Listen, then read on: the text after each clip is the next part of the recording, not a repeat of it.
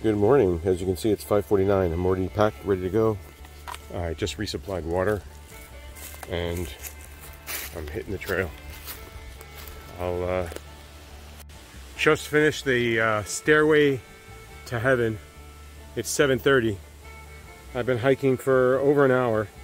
I've gone a mile. Of course, I left camp in the dark. Not a good move. Um, once again, I lost the trail back to the trail.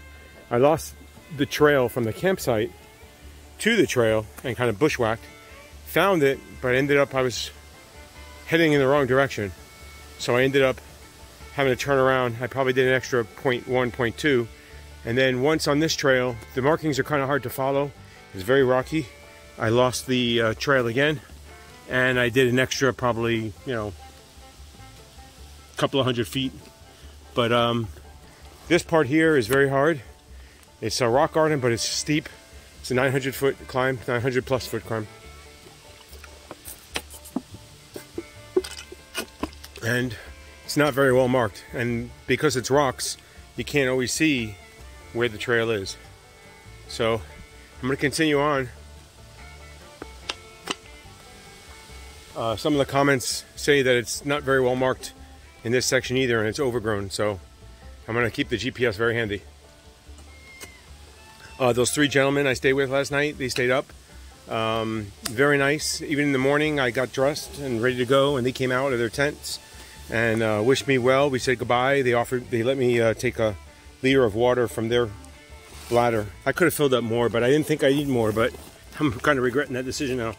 I didn't know that I was going to be uh, hiking up a mountain and bushwhacking so much. But we're going to be on our way. Check in later. Well, I made it to the top finally. After I stopped there, it's like a fall summit. You keep going up. That was probably some of the hardest uh, parts of trail I've ever done because of the lack of um, markings and the rocks at the same time in, in, addition to the elevation. Not to mention I, I, have to make it harder by going the wrong way once or twice. So um, maybe I'll keep to uh, daylight hiking only now. Or just slow down and take my time and stop thinking I know where I'm going. Well, I made it over the top. There was some people camping there. I passed a group of about 12 hikers making their way back to Adams Gap. So there's definitely a lot of people out here using the trail. And I guess uh, in talking to those gentlemen, there's a loop over here. There's like three different trails here as well. So it gets a lot of use. Seems to be very popular. Um, they're going to the overlook. I think McDill Overlook which is on the way toward Cheaha, but I'm going to keep going. I have about six more miles to go. I'd like to get them out of the way and get to a place in rest. Um, definitely feeling tired today after my bushwhacking this morning. So I'm going to let you see the trail in front of me. So this is what I see on the trail. Um, coming down. So now it's not so bad. It's not quite so rocky. Um, definitely had to use the uh, map a little bit to find my way. I got lost several times. The markings, sometimes they're there, but you don't see them right away. They're not apparent. Once you know where the trail is, it's easy to follow, but there's a couple of places where I couldn't see any markings, couldn't find any trail. It's all rock, so there's no clear path. Or there might appear to be more than one because of runoff that makes it look like it could be a path as well. But it's really just water has been running down there, so it looks like a path. So, but uh, hopefully that's all behind me now and I can start making up some time. Oh, I forgot to mention, it did get a little chilly last night. I think it might have gotten down to the upper 50s, and it's a little breezy today up here uh, in the mountains, which is nice. I'm still sweating, but it's cooler, so that's much appreciated. And um, once again, had a restless night uh, between sweating and freezing at the same time. You know, cold and sweating. So always happy to see a blaze. You know you're on the trail. And uh, so, but other than that, it was a good night. The uh, gentleman had a campfire. I was, like I said, I joined them. I'll put some of that footage in there of the campfire. And then um, uh, they stayed up a little bit later. I went to sleep. I tried to go to sleep, and they stayed up a little bit. I think around 9:30 or so. They were they were out, and they woke up when I was leaving. So But um, I've seen several other people that were camping. I passed a couple of tents. So uh, being the weekend and I guess the weather being nice, the usage is certainly up.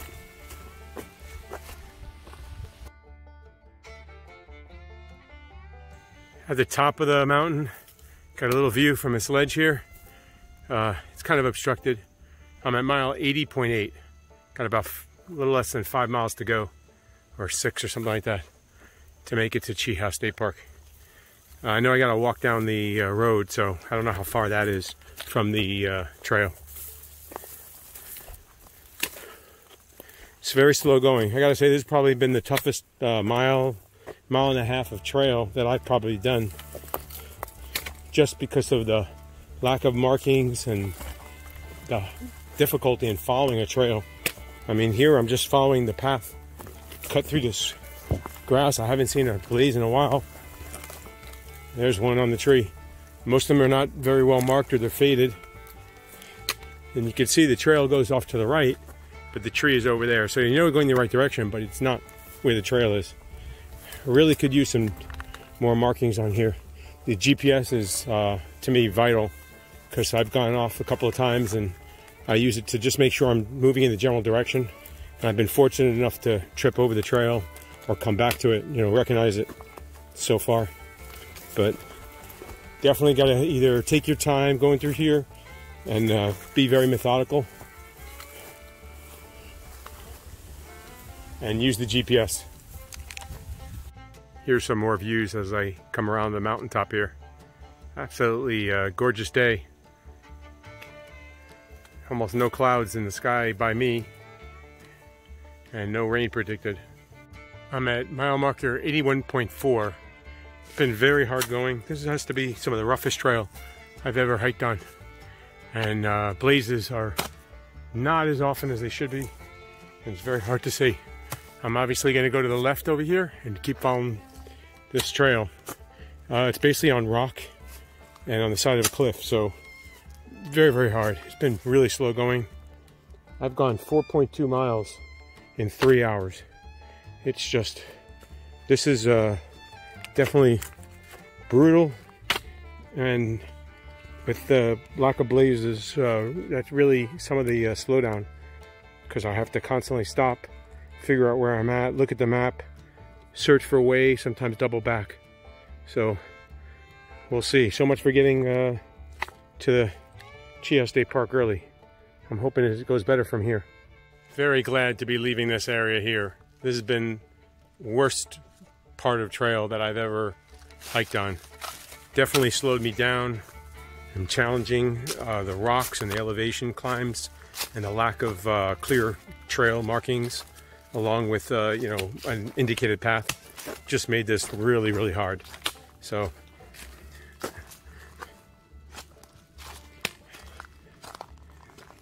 okay Cheaha bound I made it to the McDill Overlook. It's mile 82.3 or 4 but more importantly here's a sign showing the state park is three more miles hopefully we'll be there soon the sooner the better I'm uh, a little hungry, but I'm holding off, waiting for my burger. or whatever else I get. Okay.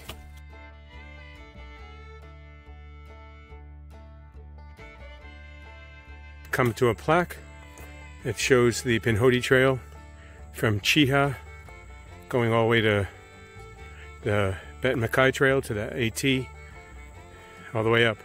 So the Dugger Mountain or Dugger Mountain is 64 miles and the Georgia state line is 92 miles. So I'm pretty much uh, closing in on that. More importantly, I need to get right to that dot right there, which is Cheaha State Park. Okay, going up a little up again. This has no doubt been the toughest uh, trail or portion of a trail that I've ever hiked. I think now more. I can clearly say that. It's definitely got me uh, beat. I'm just going, you know, forward because that's what I got to do.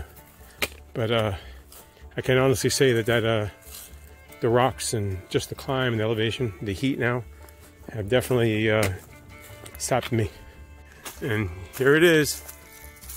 Got 0.15 a mile left to go. Uh, after five hours and 8.2 miles, I've uh, come here. Okay, next stop, Cheaha State Park. Well, I've made it to Cheaha State Park. Now, let's get out to business, food. And I've made it to the restaurant. We're gonna go in here and get some. Here's the menu at the Vista Cliffside restaurant at Cheaha. Well, afternoon. It's uh, approximately 2 o'clock now on Sunday. I'm at Cheaha State Park. I got here around noon. I was able to get a room, but you're not allowed to get into the room until 4 p.m. So I have to wait at 4 p.m. and go back and get my uh, room key and assignment. I'm assuming there'll be a long line then. Not not looking forward to that, but it is what it is. Uh, I managed to go to the restaurant and get food. Had a good burger there and some fries, and I actually had some apple pie, which was way too sweet, and I couldn't finish it all. So I won't be doing that again. But I'll probably uh, get dinner there again. It took a long time to get the food, so what I'll do is I'll probably go there like around six, order, and I'll just uh, you know wait there in the observation level, take some pictures maybe.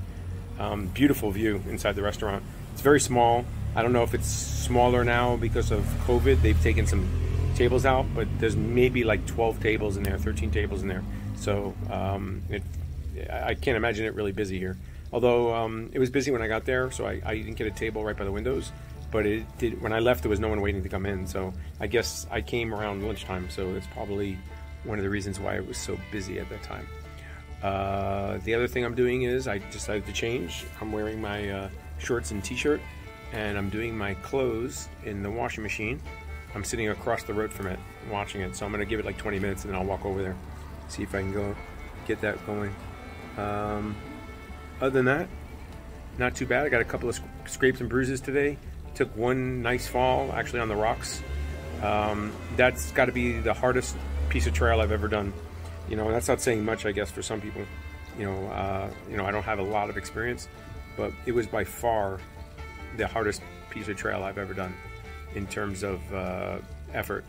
It's definitely a hard piece of trail.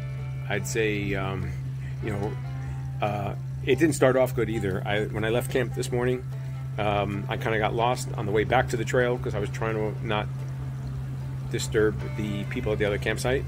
So I figured I knew which way the trail was. I was wrong. And I got turned around. I was heading in the wrong direction when I finally did get to the trail. So I had to walk back past the campsite again. Then, um, somewhere down the road, also I lost the trail again and I missed a turn off, I guess. And I kept going straight because it was a road, it was a trail. And I missed that as well. But I, I didn't go too far because I knew right away I was I'm starting to question it. I was checking the map.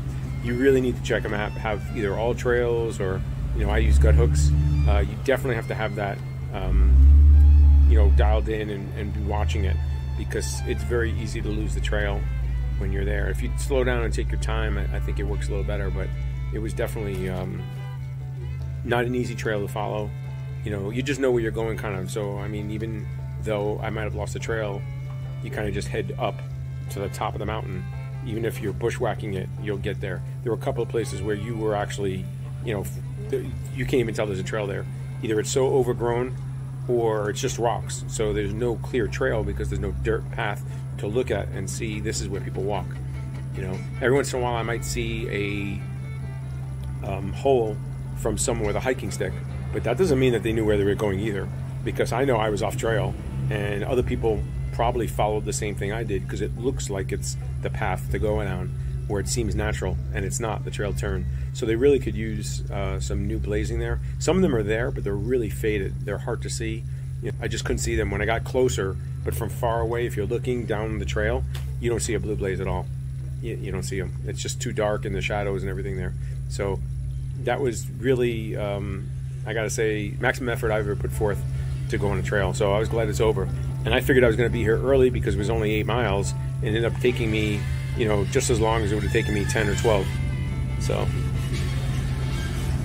guy's truck needs new springs, I guess.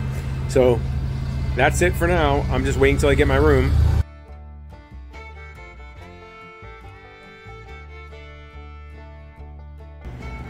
Here's the room at Cheaha State Park. Happy to say I got in a little bit early. Uh, they gave me the key. It's a quarter to three now. So first order of business is shower. So let's go take care of business. It's gonna be great. Well, it's 4.15. Took a shower and I decided I might as well go see Mount Cheaha or Cheaha while I'm here. So I'm doing a half mile walk up to the mountain. Of course, it's uphill. It's the mountain. Thought it'd be easier without a pack. I'm wearing my sandals. Not a fan, but it's pretty neat. There's camping alongside the road, as you can see. So, got a lot of families, you know, kids or whatever, all camping out here using the park. So it's kind of nice. And obviously, if you always want, there's a lodge or a cabin. Check in when I get there. Assuming the bathrooms and the showers for the campers. Love the beautiful stone buildings. I'm assuming built in the 30s or the 40s by the CCC. And still climbing up past the pavilion. More campsites. Got a playground. And there's a dog park. And there's a stone tower. I believe it's uh, a sister one or very similar to the one at Flagg Mountain where I started. I'm gonna go head toward that. And here I am at Alabama's Homage Point, State Park. And I'm pretty impressed my watch is showing 23, well, it keeps fluctuating between 2380 or so. So it's off about 27 feet, 30, maybe 30 feet. Pretty impressive. And uh, obviously it's open to the public. At least I can go in. Here we are at the top of Cheaha State Park Fire Tower. Look at that view. Not a lot of room in here. It's a small room, maybe 10 by 10.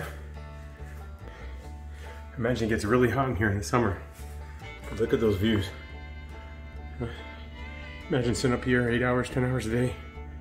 I guess watching for fire. Pretty neat. And here's the total room. You can see not a lot of room at all. Quite tight. But uh, built solid. It's rock.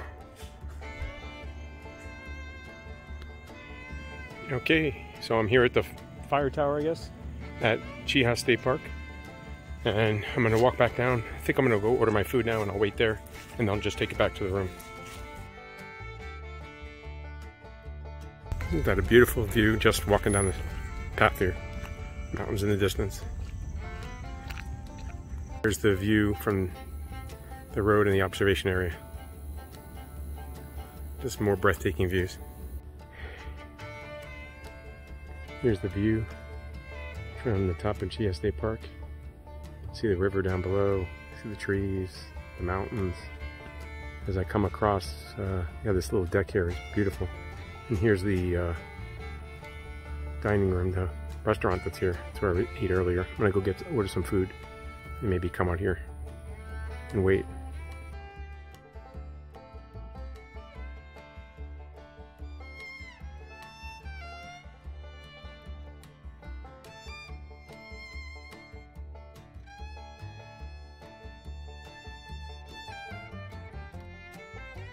Okay, figure I'd do a little recap. Uh, it was a really hard day, probably my toughest day ever on a trail. As I said, that trail, that portion that I went to, like from the Stairway to Heaven to Cheaha State Park, is the toughest section of trail that I think I have ever done. Um, not that I'm a world class traveler or done a lot of hiking, but in all the hiking I've done, that is by far the, the hardest piece of trail that I've ever done. Um, I got most of my gear spread out. I'll show you here. A little uh, gear vomiting. Uh, you know, it's all over the place. I got my shoes and socks. Um, my shoes drying out with the inserts by the AC. Got my sleeping bag open and drying out, and that's pretty much it. I'm uh, to charge everything up I just picked up dinner. It's uh, 5.15. Uh, sundown is in about an hour. I don't think I'm going to go back outside and try to capture the sun going down. I think I'm done for the day. Um, I'm going to have uh, chicken tenders and fries. I was going to eat them in a little while, but I think I'm going to eat them now because I can. And I'm going to try to go to sleep early, wake up early, and start hiking again. So I got to walk down the mountain to the store, throw my card back in there to check out. Not that that really matters much. Then walk. Uh, it's a 0.15 of a mile back to the trailhead, and then I'll start walking north. And my next goal is uh, Heflin. So I'm hoping that will take me two days. My plan is to do about 14 miles or so. If it's easier than the section I just did, I'm hoping it is, and I hope it's better marked. Because if not, um, 14 miles is going to be hard. It's going to take me like all day. Um, it took me uh, till noon to do eight, which usually I'm doing, you know, 10 or 12 by then if I started early. And I started before six, but of course I did get lost. Um, that's my own fault. I'm going to try and tape my feet up a little bit tomorrow. I have some tape left. I'm going to use that, and hopefully that'll take me till when I get to Heflin, and I'll need to buy some more tape. Other than that, it was a good day. Uh, like I said, a hard day. I'm very glad to be in a hotel. I mean, I love being out there, but it's nice to have comfort. Uh, hot water, air conditioning, not be sweaty and sticky. Taking a shower is, you know, great. Makes you appreciate all we have and how you also realize when you hike how little you need. You know, I'm I'm traveling with you know 20 pounds on my back, probably at the end. Uh, you know, water, food, almost nothing. I, I was down to you know, I probably have two days food if I really need it. Um, I didn't buy much here. I just bought two protein bars. They really don't have. They had a couple of uh, backpackers pantry, but they had breakfast, two breakfasts. Um, they had some other stuff you can you know microwave and probably some stuff you could add water like ramen noodles and stuff, but I, I didn't bother. Um, I just skipped it. I'm just gonna uh, do what I do normally. I have enough food to get me to Heflin. When I get to Heflin, I'll have to buy food. More than likely, I'm gonna have to cook my food more. I don't think I'll be able to get prepared meals, but we'll see what happens there. Other than that, like I said, had a great day. Uh, great to have some. That burger was great. Uh, I decided not on the salad, not to get a salad here. They have, they did have a chicken finger salad, but I just decided to go with chicken and fries. So I'm actually gonna relax now. Um, probably go to sleep early, uh, nine o'clock, maybe maybe ten at the latest. I'm a night person, uh, but I'm gonna try and get up early, uh, probably a little bit before dawn, because obviously I can follow the road down. I won't get lost, like in the in the woods with, with the trail. Which um, that's a that's a one to definitely contemplate in the future of waiting till sunup to start walking around so you don't get lost. So unless I really know where I'm at, or I'm positive, uh, you know, the trail is right there, um, I'm probably gonna, you know, wait till sunup from now on to start walking. So, but we'll see. That'll also get better. I should have uh, paid more attention to it. Sorry, I'm doing multiple things here. I just took off my sandals. Uh, my longest walk I've ever taken the sandals, probably about a mile. Um, they're okay. I'm still not a great fan of them. On the road, it was a little better. I only banged my uh, feet into something once. so not quite used to them yet. So that's it from uh, the trail, uh, Pinhoti Trail. Uh, tomorrow I pass the halfway point from my trip to Cave Springs. So at, at mile marker 90 or 91, uh, I will be at the halfway point. So it's more like 92 or 93. Anyway, I believe there's a set of power lines. When I cross those, pretty much I'm at the halfway point for me. So that's exciting that I'm halfway done, or I will be tomorrow, and um, we'll see how it goes. Once again, uh, you know, I spoke to my family again today. Uh, can't thank my wife enough for holding down the fort while I'm gone and taking care of uh, things at home. I probably ate too much today, but that's probably good because most days I don't think I'm eating enough. So, but um, I'm sure I burned whatever calories I'm eating on that hike. If not, the next couple of days we'll take care of it. So um, that's a good thing. So thank you so much for joining me. Till we meet again.